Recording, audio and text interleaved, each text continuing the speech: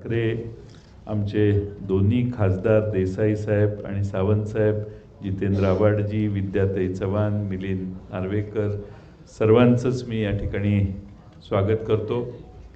आपल्या महाविकास आघाडीने महाराष्ट्रामध्ये घवघवीत यश मिळवलं आणि तर आपणा सर्वांच्या समोर पहिल्यांदाच एकत्रितपणाने येते.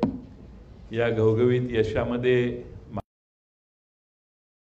शिवसेना काँग्रेस राष्ट्रवादी चंद्र पवार पक्ष भारतीय कम्युनिस्ट पक्ष मार्क्सवादी कम्युनिस्ट पक्ष समाजवादी पक्ष शेतकरी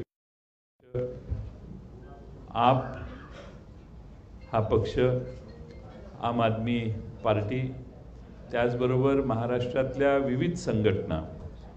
ज्यांनी प्रचारामध्ये प्रचंड मोठी कामगिरी बजावली जनजागरण केलं खास करून निर्भय बनो ही जी संघटना आहे डॉक्टर विश्वंभर चौधरींची निखिल वागळे असतील आदी ॲडव्होकेट सरोदे असतील किंवा महाराष्ट्रातल्या वेगवेगळ्या संघटना सामाजिक संघटना ज्यांची नावं प्रचंड मोठी यादी आहे.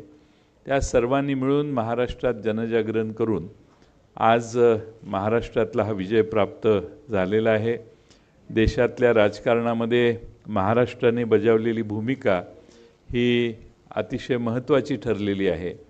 आणि देशाच्या राजकारणामध्ये इंडिया आघाडीला जे बळ भारतातल्या जनतेने दिले त्यातलं सगळ्यात मोठं लक्षणीय यश आणि बळ महाराष्ट्रातल्या जनतेने या महाविकास आघाडीला दिलेलं आहे. आणि त्यानंतर पहिल्यांदाच आपण या ठिकाणी भेटलेलो आहेत. मी आमच्या सहकारी पक्ष आणि सर्व संघटना ज्यांचा मी उल्लेख केला त्या सगळ्यांचे आभार मानेनच. पण माननीय उद्धवजी ठाकरे साहेब पवार साहेब आणि काँग्रेसचे दोन्ही नेते पृथ्वीराज बाबा आणि बाळासाहेब थोरात यांच्या वतीनं आज आपणाला या ठिकाणी महाराष्ट्राच्या जनतेपर्यंत पोचण्यासाठी आपण सर्वांना या ठिकाणी बोलवलं आहे आपणही आम्हाला या निवडणुकीत सगळ्यांनी सहकार्य केलं. सर्व चॅनेल सर्व वर्तमानपत्र आमच्याकडे साधनं कमी होती यंत्रणा कमी होती जाहिरात देण्याची क्षमता दोन टक्के पण नव्हती समोरच्या बाजूच्या तुलनेनं. आणि महाराष्ट्रामध्ये निवडणुका कशा झाल्या याचा आपणा सर्वांना अंदाज आलेला आहे. आणि किती खर्च एखादा पक्ष करू शकतो याचा आकडे जर बघितले तर त्या पार्श्वभूमीवर मिळालेलं हे यश एक ती तीस जागांचं हे फार मोठं आहे. आणि त्यामुळं एवढं घवघवीत यश महाराष्ट्रातल्या जनतेनं दिलेलं आहे. त्या महाराष्ट्रातल्या जनतेला देखील आम आभार त्यांचे मानणं आवश्यक आहे. यासाठी मी ही पत्रकार परिषद सुरू करावी एवढीच विनंती करतो.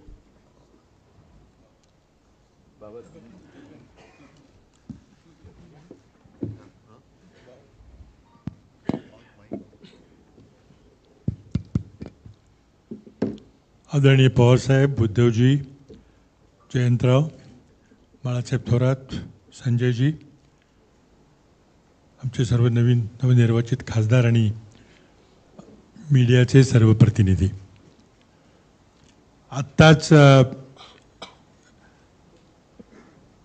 राष्ट्रवादी काँग्रेसचे अध्यक्ष जयंतराव पाटील यांनी आपल्याला सांगितल्याप्रमाणे ही पत्रकार परिषद महाराष्ट्राच्या जनतेचे आभार मानण्याकरता आम्ही आयोजित केलेली आहे. महाराष्ट्राच्या जनतेचा या देशातील लोकशाही वाचवण्यामध्ये ज्या देशातील जनतेने जे मतदान केलं आहे त्यापैकी महाराष्ट्राच्या जनतेचा फार मोठा आणि सिंहाचा वाटा आहे. महाविकास आघाडीला अगदी निर्णायक बहुमत दिलेलं आहे. आणि त्याबद्दल महाराष्ट्राच्या तमाम जनतेचे सर्व घटकातून महाविकास आघाडीच्या सर्व उमेदवारांना घवघवीत असा पाठिंबा दिला गेलेला आहे. त्याचं त्याची परिणिती आपण निकालात पाहिलेली आहे. या निवडणुकीमध्ये आमचे जरी तीन प्रमुख पक्ष असले ते जवळ तीस चाळीसच्या वर जनसंघटना. काही छोटे पक्ष कम्युनिस्ट पक्ष असेल दोन्ही मार्क्सवादी communist C P I C P M शेतकरी कामगार पक्ष आम आम आम आम आदमी पार्टी अनेक जनसंघटना. समाजवादी पार्टी सगळ्यांची नावं मगाशी जयंतरावांनी म्हटल्यावर खूप मोठी यादी आहे. त्यामध्ये काही सामाजिक कार्यकर्ते जे कुठल्याही पक्षामध्ये नव्हते त्यांची नावं देखील जयंतरावांनी घेतली. त्या सर्वांनी महाराष्ट्रामध्ये एक वातावरण निर्माण करण्यामध्ये खूप मोठा वाटा उचलला. त्यांचे सर्वांचे धन्यवाद या ठिकाणी मानणं गरजेचं आहे.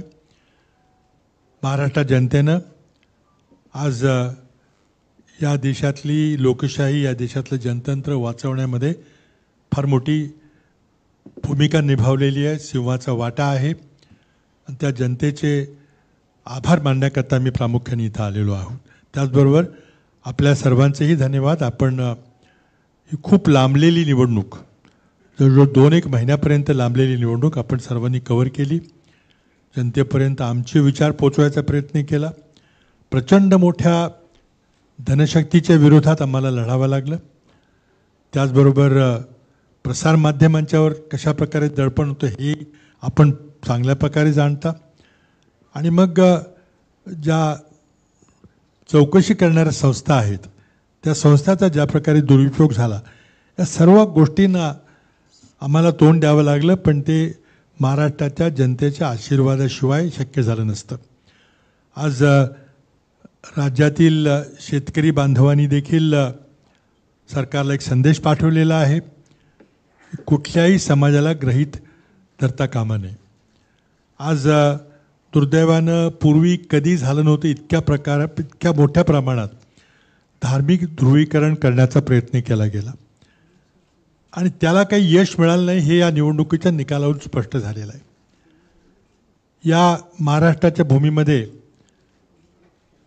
छत्रपती शिवरायांच्या आचरण्याहून आदर्श घेऊन आम्ही सर्वधर्म समभावाची भूमिका या ठिकाणी राबवतो. आणि त्यामुळं धार्मिक ध्रुवीकरण कुठं पसरलं नाही कुठं कुठलाही मुद्दा तिथे चालला नाही. जनतेच्या प्रश्नाला महाविकास आघाडीच्या नेत्यांनी प्राधान्य दिलं. आणि खरं म्हणजे पवारसाहेबांनी आणि उद्धवजींनाही धन्यवाद दिले पाहिजे की त्यांनी ज्या प्रकारे जवळजवळ प्रत्येक मतदारसंघामध्ये जाऊन त्यांनी प्रचार केला. नेत्यांच्यामध्येही चांगलं समन्वय होतं. बूथ लेवलच्या कार्यकर्त्यांच्यामध्ये खूप चांगलं समन्वय होतं. त्यामुळं हा आपल्याला इथं परिणाम दिसत आहे. आत्ताच तिन्ही पक्षाच्या नेत्यांची एक प्राथमिक बैठक विधानसभेच्या पार्श्वभूमीवर आमची झालेली आहे म्हटलं तरी काही सुरुवात झालेली आहे. लवकरात लवकर आम्ही विधानसभेच्या दृष्टीने जे काही निर्णय घ्यायचे असतील ते घेणार आहे. पण एक गोष्ट निश्चित आहे की ही विधानसभेची निवडणूक अशाच प्रकारचं आघाडी जनसंघटना महाविकास आघाडी सगळे ज्या प्रकारे मी लोकसभेची निवडणूक लढली. त्याच प्रकारे त्याच ताकदीनं किंबहुना त्याच्यापेक्षाही अधिक ताकदीनं आम्ही विधानसभेची निवडणूक लढणार आहे. जनतेचे प्रश्न घेऊन लोकांच्या समोर पुन्हा येणार आहेत. आणि मला खात्री आहे की ज्या प्रकारे लोकसभेला आपण सर्वांनी महाराष्ट्रातील जनतेने आम्हाला आशीर्वाद दिला त्याचप्रमाणे विधानसभेच्या निवडणुकीमध्ये त्याच्यापेक्षाही अधिक प्रमाणामध्ये आशीर्वाद आम्हाला मिळेल आणि महाराष्ट्रामध्ये स सत्ता परिवर्तन निश्चितपणे होईल हे आश्वासन आम्ही आमच्या सर्वांच्या वतीनं आपल्याला देऊ इच्छितो. धन्यवाद. एकच लहानशी गोष्ट सांगायची राहून गेली ती म्हणजे ज्या काही अन्य पक्षाच्या नेत्यांच्या सभा झाल्या त्याच्यामध्ये देशाचे प्रधानमंत्री यांच्या अठरा सभा झाल्या आणि एक जोरसो झाला. त्यांच्या या अर्थसभा ज्या ठिकाणी झाल्या आणि जोरसो ज्या ठिकाणी झाला त्या ठिकाणी आम्हा लोकांच्या उमेदवारांना जनतेने फारच मोठ्या प्रमाणात पाठिंबा दिला आणि म्हणून विधानसभेच्या निवडणुकीच्या काळामध्ये प्रधानमंत्र्यांच्या जेवढ्या ज्या जागा इथून व्यक्ती होते तेवढं आमचा स्पष्ट भारताच्या दृष्टीनं ऐकून वातावरण होईल. त्यामुळं त्यांच्या त्यांनाही धन्यवाद देणं हे माझं कर्तव्य समजतं.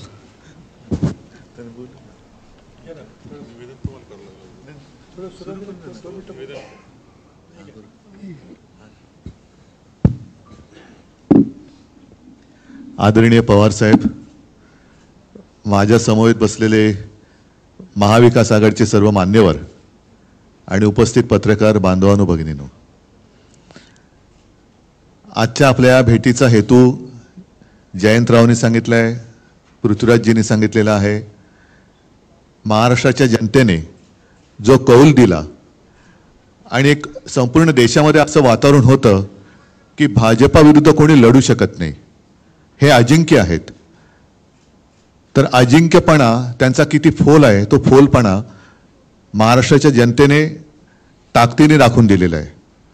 म्हणून महाराष्ट्राच्या जनतेचे तर आम्ही आभार मानतोच आहोत त्यांचे आशीर्वाद तर आम्हाला पाहिजेतच आहेत. इतर सर्वांनी म्हणजे ज्यांचा ज्यांचा उल्लेख जयंतरावांनी केला मग ती निर्भय बनो एक सामाजिक संघटना आहे. त्याच्यानंतर यूट्यूब यूट्यूबच्या माध्यमातून निखिल वागळे आहेत हेमंत देसाई आहेत प्रशांत कदम आहेत. अशोकराव वानखेडे आहेत रवीश कुमार हे सगळेच एका धाडसाने जनतेचे प्रश्न हिमतीने ते मांडत आले. आणि त्या त्यांच्या मांडण्यामुळेच एक निपक्षपातीपणाने त्यांनी ती बाजू मांडली. त्याच्यामुळे जनतेला सुद्धा सत्य काय आहे हे कळत गेलं. आणि मी तर असं म्हणेन की ही लढाई फार विचित्र होती. आर्थिकदृष्ट्या असेल यंत्रणेच्या दृष्टीने म्हणा ही विषम लढाई तर होतीच पण संविधान आणि लोकशाही वाचवण्यासाठी ही लढाई होती. आणि मला अभिमान आहे की मी माझ्या भाषणाची सुरुवात देशभक्त बांधवांनो भगिनींनो आणि मातांनो अशी करायचो. त्या सर्व देशभक्त आणि लोकशाही प्रेमी नागरिकांनी महाविकास आघाडीला आणि देशात इंडियाला जो कौल दिलेला आहे ही एक जाग आता आपल्या देशाला आलेली आहे. आणि साहजिकच आहे हा विजय हा अंतिम नाही आहे ही लढाई सुरू झालेली आहे. येत्या दोन तीन महिन्यामध्ये विधानसभा महाराष्ट्राच्या येतील. त्याच्यानंतर सुद्धा इतर राज्यांच्या काही निवडणुका येतील. मुळामध्ये हे जे काय आता मोदी सरकार होतं ते आता एन डी ए सरकार झाले. हे सरकार किती दिवस चालेल हा एक मोठा प्रश्न आहे. कारण आमच्याबद्दल नेहमी म्हटलं जात होतं की युती नैसर्गिक युती आणि अनैसर्गिक युती. तर आत्ता ते जे काही तिकडे कडबोळ झालेलं आहे दिल्लीमध्ये हे नैसर्गिक आहे का अनैसर्गिक आहे? हा सुद्धा एक मोठा प्रश्न आहे. एकूणच देशातली जनता या निवडणुकीच्या निमित्ताने जागी झाली हे फार मोठं यश या निवडणुकीच्या वेळेला आपल्याला मिळालं असं मी मानतो. आणि आपल्या मनामध्ये काही प्रश्न असतील आपण विचारा त्याला उत्तर द्यायचा आम्ही प्रयत्न करतो हि- हिंदी हिंदी में बाद में जयंतराव बात करेंगे काँग्रेस पक्ष लढेल दोन्ही बाजूला काँग्रेस पक्षांची नेते आहे परंतु प्रदेशाध्यक्ष मात्र वेगळी भूमिका घेताना पाहायला मिळत आहे तुम्ही या ठिकाणी संयुक्त पत्रकार परिषदेत आहे हिंदी हिंदी में बाद में जयंत राव बात करेंगे।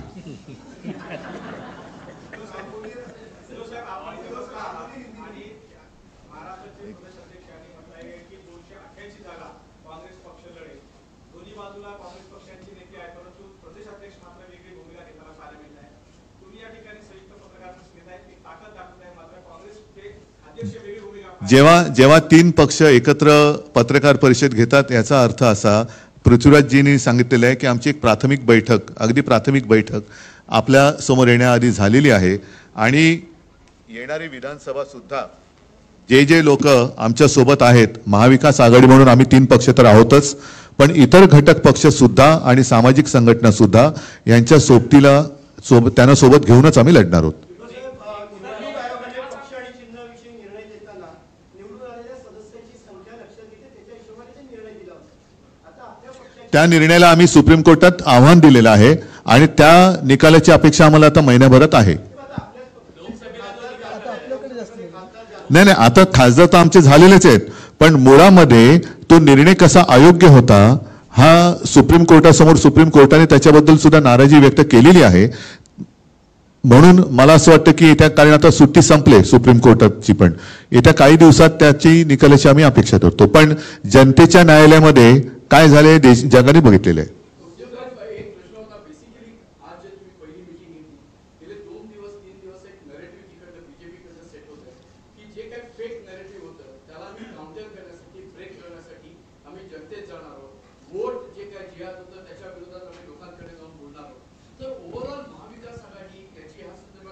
नाही वोट जिहाद म्हणजे काय?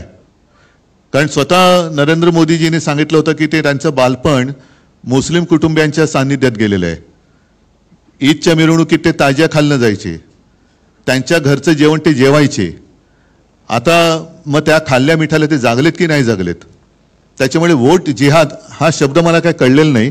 मोदींनी पहिले सांगावं जर ते लहानपणी त्यांच्या शेजारच्या मुस्लिम कुटुंबियांकडचं जेवण जेवत असतील तर त्या मिठाला ते जागलेत आणि जागणार आहेत की नाही जागणार आहेत?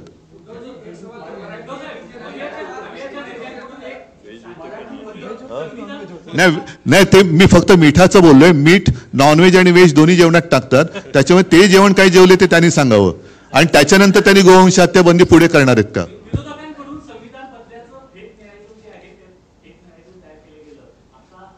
काय मला परत प्लीज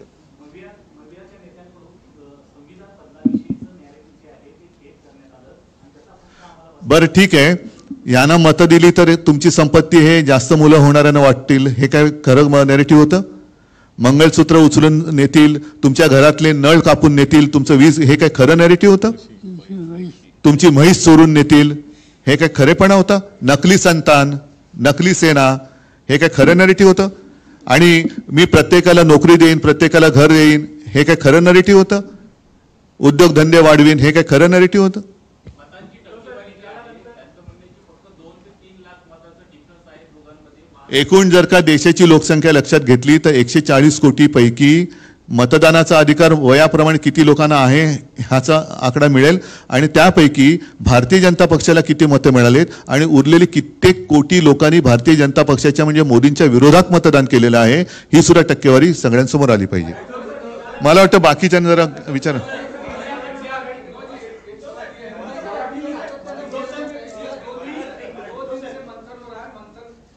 मंथन। बीजेपी मंथन कर रही है कि हम चुनाव हारे नहीं हैं हम कहीं न कहीं नैरेटिव के कारण चुनाव हार रहे हैं और हमारे खिलाफ एक गलत नैरेटिव तैयार किया जा रहा मतलब क्या?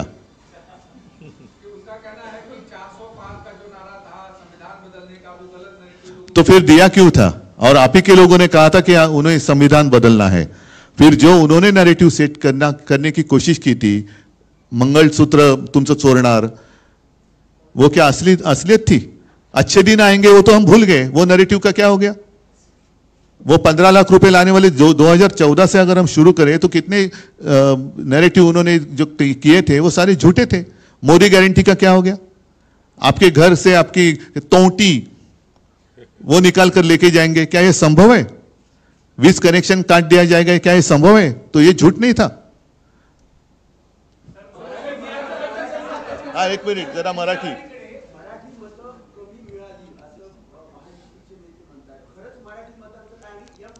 मराठी मतं का कमी मिळतील? काय? असं काय कारण आहे? एम एम म्हणजे मराठी आलंच ना. एममध्ये मराठी नाहीत. M factor. आणि मी तुम्हाला सांगतो यावेळेला आम्हाला मी अभिमानाने सांगेन की लोकशाही वाचवण्यासाठी सर्व धर्मियांनी मतदान केलं. त्याच्यात माझे मराठी तर आहेतच हिंदूसुद्धा आहेतच मुस्लिमसुद्धा आहेतच ख्रिश्चन आहेतच शी शीख आहेत इतर सर्व. आणि तुम्हाला काय वाटतं? रक्त सांडून मिळवलेली मुंबई मराठी माणसांनी त्यांच्या डोळ्यात देखत जर लुटली जात असेल तर अशा वेळेला मराठी माणूस लुटणाऱ्याला मत देईल. महाराष्ट्र आणि मुंबईतला मराठी माणूस मुंबई आणि महाराष्ट्र लुटणाऱ्याला कदापि झोपेत सुद्धा मत नाही देणार. त्याच्यामुळे अजूनही भारतीय जनता पक्षाला वास्तवाची जाणीव आली नसेल तर मग त्याला निवडणुकीच्या निकालाच्या विस्तवाला सामोरं जावं लागेल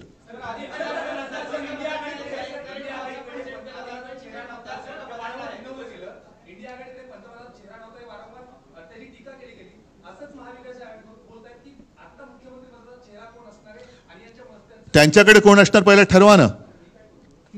त्यांच्याकडे कोण आहे? आता प्रश्न त्यांच्याकडे पण आहे. कारण मला आठवते मी मुख्यमंत्री असताना देवेंद्र फडणवीसांनी ते काय म्हटलं होतं ते? वसली तीन गावं दोन व- काय एक वसेची ना. आता हालत त्यांची तशीच आहे. तिन्हीच्या तिन्ही ओसाड आहेत. एक सुद्धा बसत नाहीये. अरे मला बाकी जरा बाकी पवार साहेब पवार साहेब.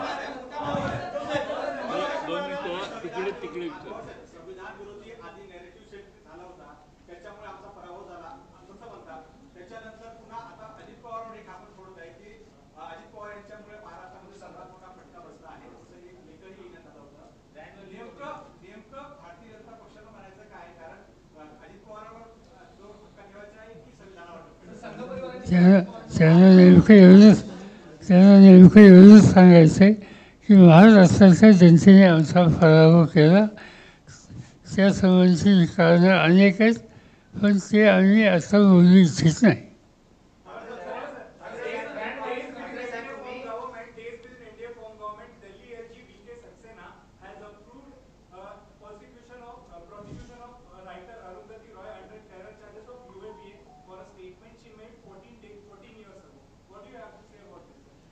जे काय सेशन त्यांनी केलं.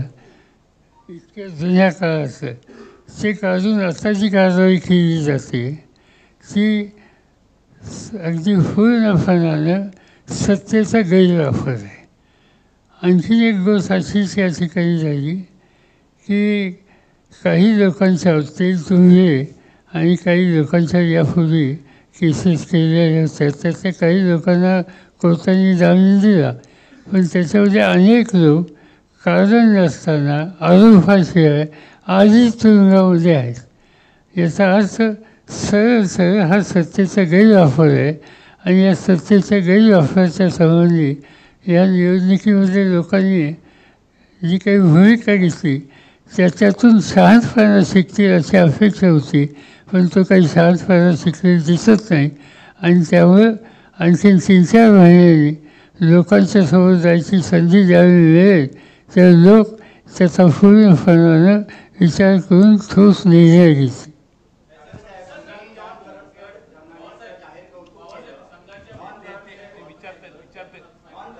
अजित पवार यांना जवळ घेतल्यामुळे भाजपची ब्रँड व्हॅल्यू कमी झाली तुम्हाला असं वाटतं का मला प्रश्न समजला नाही.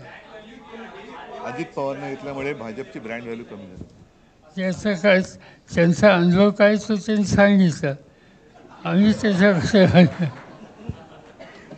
साहेब तुम्ही नॉन करप्टेड इंडिपेंडंट जर्नलिस्टचं कौतुक केलं त्याबद्दल मी तुमचे आभार मानतो माझा फक्त पवार साहेबांना एकच प्रश्न आहे पवार साहेब महायुती सरकारमध्ये परस्पर अविश्वास असल्याचं वातावरण असल्याची माहिती आहे ऑर्गनायझर मधून पण टीम अजितदादाला सोबत घेतल्याने लोटस ब्रँडला डॅमेज झाल्याचं जाहीर मत मांडलं गेलं ही दुसपूट चालू असताना जर महायुतीच्या घटक पक्षांनी जर हे सरकार पाडलं तर पावसाळ्यात शेतकऱ्यांच्या हिताच्या दृष्टीने प्रशासन सज्ज असणं आवश्यक असेल अशा परिस्थितीत महाविकास आघाडीची भूमिका काय असेल प्रमुख मार्गदर्शक महाविकास आघाडीचे म्हणून तुम्ही काय सांगाल?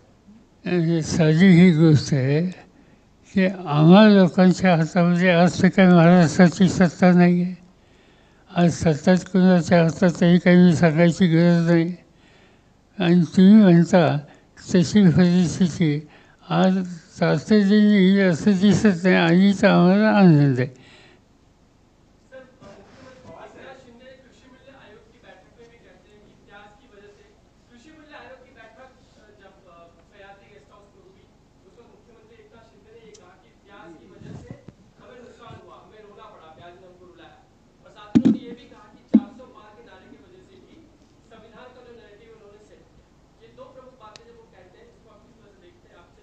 ये सीधी बात है। प्याज पैदा करने वाला किसान तो नाराज़ था। इसे कोई दो बातें नहीं, मगर वहाँ तक सीमित नहीं। इस महाराष्ट्र का, इस देश का किसान वाइन राज, ये सरकार के बीजेपी के खिलाफ था, और आज भी इससे कोई मदद हो गई ऐसे मुझे दिखता नहीं।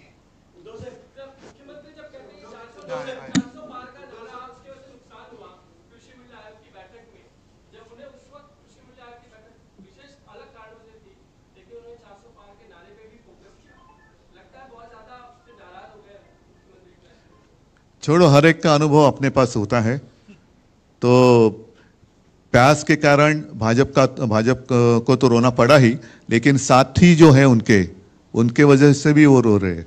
उद्धव साहेब, तुम्ही नेहमी राज्यातल्या उद्योगाचा प्रश्न उपस्थित करता कहा था नाना पटोले कहा था कि उद्धव साहब मेरा फोन नहीं उठाते विधान परिषद की जो इलेक्शन थी उसी मुद्दे पे उनका नाराजगी जताई थी तो झाला विषय संपला त्याच्यानुसार आम्ही निर्णय पण घेतला.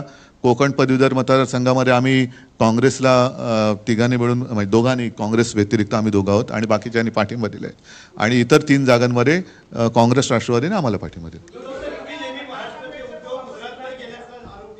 आरोप नाही वस्तुस्थिती आहे. कोण केंद्रीय मंत्री ज्यांनी काही दिवसांपूर्वी शपथ घेतली कुमारस्वामी कोण कुमारस्वामींनी आरोप केलाय की बेंगलोर आरोप केला की करोडो रुपयाची सवलत किंवा अनुदान गुजरातमध्ये उद्योग जे आहेत त्याच्यावर अन्याय का करते केंद्रीय मंत्रीच आरोप करते मग मी काय उत्तर देऊ? त्यांनी पंतप्रधानांकडे उत्तर द्या मागायला पाहिजे कारण त्यांनी त्यांना पाठिंबा दिलाय. आणि मी माझ्या प्रचाराच्या भाषणात सुद्धा सांगत होतो की आमचा गुजरातबद्दल काही राग नाही. इंडिया आघाडीचं सरकार आल्यानंतर आणि उद्यासुद्धा आल्यानंतर आम्ही गुजरातच्या हक्काचं काय असेल ते देऊ. पण याकरता मोदी आणि अमित शहा गुजरात आणि संपूर्ण देश यांच्यामध्ये एक जी भिंत उभी करतायत ती अत्यंत घातक आहे. तशी भिंत त्यांनी उभी करता कामा नये. महाराष्ट्राच्या हिताचं असेल ते महाराष्ट्राला मिळालंच पाहिजे. गुजरातचे असेल ते ग- जरूर गुजरातला द्या. तसंच अन्य राज्यांना जे आवश्यक आहे आणि त्यांच्या हक्काचं आहे ते ते दिलं गेलंच पाहिजे. त्यालाच आपण केंद्र सरकार म्हणतो खरं. केंद्र सरकार ही हा शब्द चुकीचा आहे कारण आपली संघराज्य पद्धत आहे.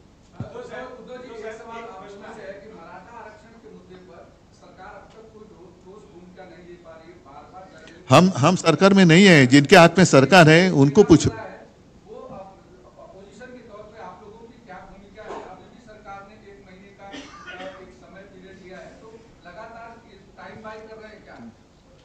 सीधी बात यह है कि ये इशू पर, इससे पहले जो कोई महाराष्ट्र गवर्नर थे, उन लोगों ने डिस्कशन किया था।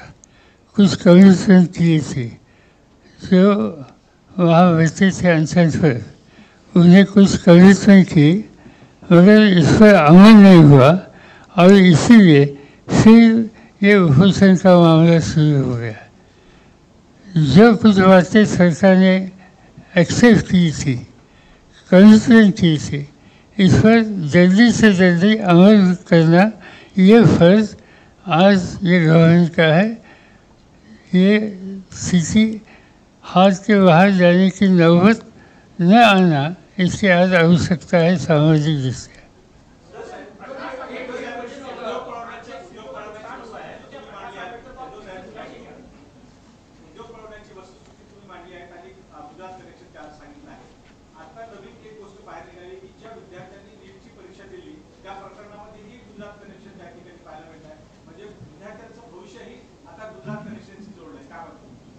नाही म्हणूनच मी म्हटलं ना की हा जो त्यांचा काही अट्टाहास आहे त्यांना दहा वर्षात समजायला पाहिजे होतं की संपूर्ण देशाने त्यांना पंतप्रधान पद दिलं होतं.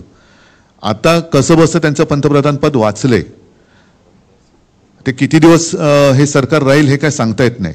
आणि गुजरातमध्ये जर का हे अशी सगळी चालूगिरी करायला लागले तर त्यांचं मूळ राज्य आहे तिथेच त्यांच्या आसनाला सुरुंग लागेल. आणि एकूणच जे काय मगाशी तुम्ही नरेटिव्ह नरेटिव्ह म्हणतात नरेटिव्ह एका बाजूला पण ह्यांच्यामध्ये खरेपणा नाही आहे हा सगळा फोलपणा आता देशाच्या जनतेच्या लक्षात आलेला आहे. यावेळेला मी परत सांगेन की मला अभिमान आहे की देशातली जनता जागी झाली आणि आणखीन सुद्धा एक थोडाफार विश्वास काही लोकांचा मोदींवरती होता भाजपवरती होता तो या निकालामुळे आता साफ उडालेला आहे. येत्या निवडणुकीत आणखीन चित्र खूप बदललेलं आणि देशाच्या दृष्टीने सुधारलेलं दिसेल.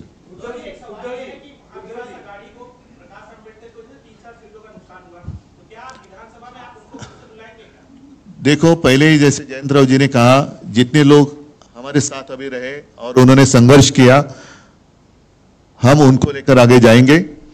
और कुछ लोग अगर आना चाहते हैं, सिर्फ़ ये या वो ऐसे नहीं तो खिंचातानी किए बिना अगर वो आना चाहते हैं तो देखेंगे। लेकिन मैं जिसका नाम आपने लिया, वो नाम लेकर मैं कुछ नहीं कहना चाहता, मैं जनरल बात कर रहा हूँ। झालेला ठीक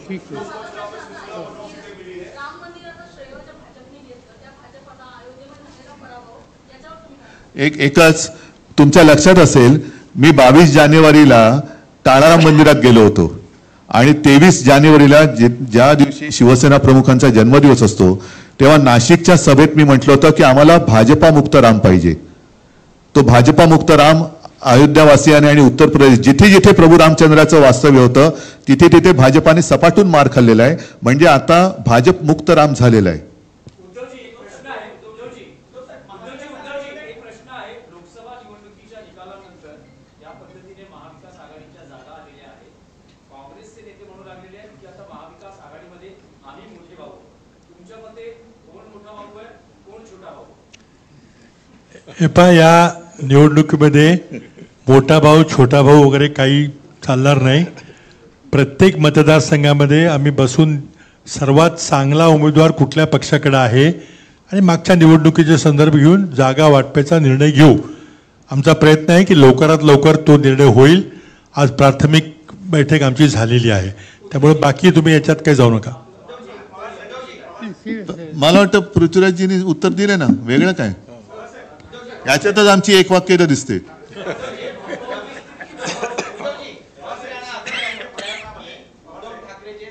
भविष्यामध्ये मोदींसोबत दिसतील एनडीए सोबत दिसतील कोण रवी राणा ठीक आहे जाऊ. Just to continue with the same issue, you know why this kind of a narrative is being definitely created की उद्धव ठाकरे हे कधी ना कधीतरी परत इंडियामध्ये येतील we would definitely like to have some certain rather clarification are you really seriously on that some back channel activities are on what's happening on that front बरं ठीक आहे मला समजा जायचंय यांच्यामध्ये बसून आता हो सांगू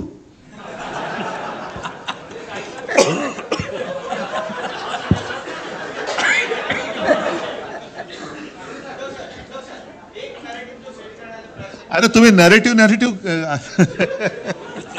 तुम्ही खरेटिव्ह वरती आहात आदित्य ठाकरे जे मतदारसंघ बदलणार आहेत बँड्रातून किंवा जिथे त्यांना जास्त मुस्लिम मतं पडले त्या ठिकाणाहून इलेक्शन लढतील या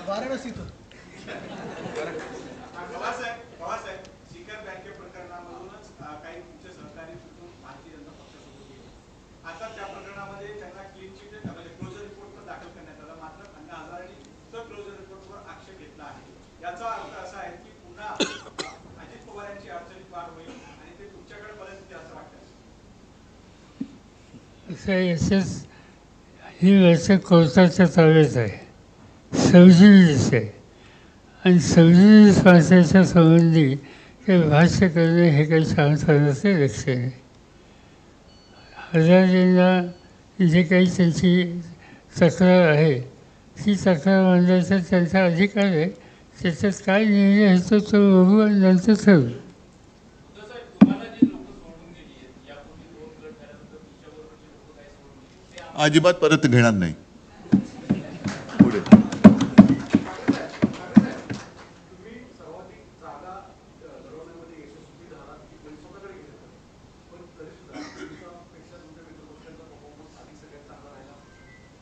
सांगू का? एक जुनं गाणं आहे. तुम्हाला माहिती असेल की नाही माहीत नाही. पवार साहेब तुम्हाला नक्की माहिती असणार. माणिक वर्माजींचं गाणं आहे. पारिजात फुलला माझ्या दारी फुले का पडते शेजारी?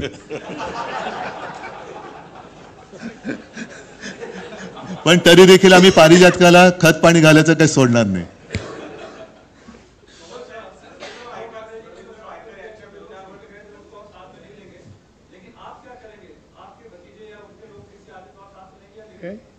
जरा परत सांगा ना.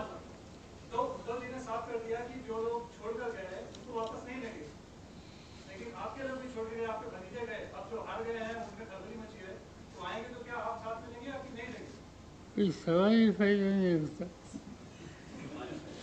बघा याच्यामध्ये एक एक सॉरी पवार साहब एकच मिनट नहीं एक ही मिनट ये जो बातें हैं ना मैंने तो मैं बात साफ़ कर दी लेकिन आपको याद है कुछ महीने पहले अमित शाह जी गए थे बिहार में और उन्होंने कहा था नीतीश कुमार के लिए भाजपा के दरवाजे हमेशा के लिए बंद है. चंद्रा बाबू जी के लिए भी बंद है।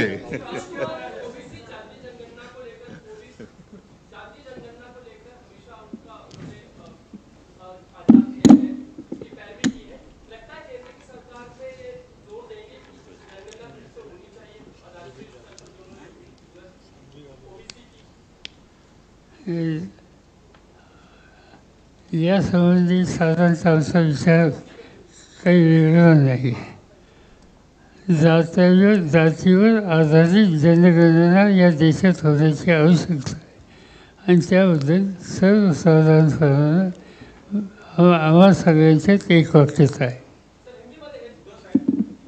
अमोल अमोल कीर्ती यांची जी जागा अठ्ठेचाळीस मतांनी जो पराभव शिवसेनेचा झाला आहे तो शिवसेना मानत नाही या प्रकरणामध्ये रवींद्र वायकर यांच्या दरम्यानवर गुन्हा दाखल झाला की त्या ठिकाणी मोबाईल वापरण्यात आला याचा अर्थ त्या ठिकाणी मोठी गडबड झाली असं तुम्ही मानता मानत नसतो तर कोर्टात का जाऊ आम्ही? आम्ही कोर्टात जातो आहोत. आणि खात्री आहे आम्हाला की तिथे जे काय घडवण्यात आलेलं आहे घडलेलं नाही मिळण्यात घडवण्यात आलेलं आहे हा बोगसपणा कोर्टामध्ये सिद्ध होईल. मी बघू ना मला मी आता सगळी माहिती घेतली असं समजू नका कारण मी वकिलांशी वगैरे सगळ्या तिथल्या लोकांची चर्चा सुरू आहे. रोज मला जेवढी पाहिजे तेवढी आवश्यक माहिती मी घेत असतो. पण आम्ही कोर्टामध्ये जातो आहोत आणि मला खात्री आहे की यातला गडबड घोटाळा हा आम्ही बाहेर काढू. त्याच पद्धतीने देशात सुद्धा काही ठिकाणी अशाच पद्धतीने निवडणूक निकाल लावून घेण्यात आले असं कानावर आलंय. तिथली सुद्धा लोक कोर्टात जात आहेत.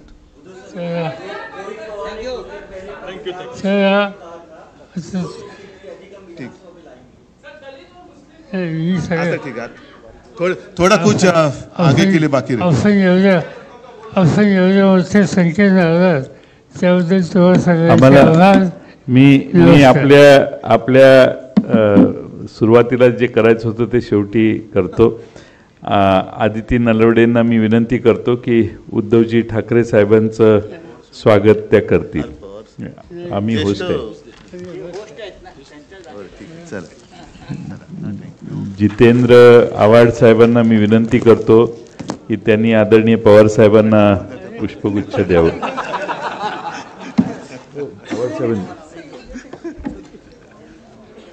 विद्याताई चव्हाण यांना मी विनंती करतो की पृथ्वीराज चव्हाण साहेबांना त्यांनी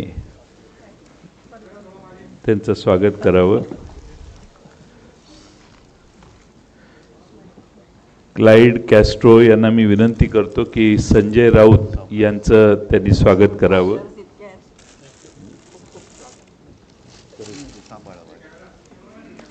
आदिती नलवडेंना मी विनंती करतो की माननीय बाळासाहेब थोरात साहेबांचं त्यांनी स्वागत करावं आणि आदित्य ठाकरे साहेबांचं त्यांनी स्वागत करावं.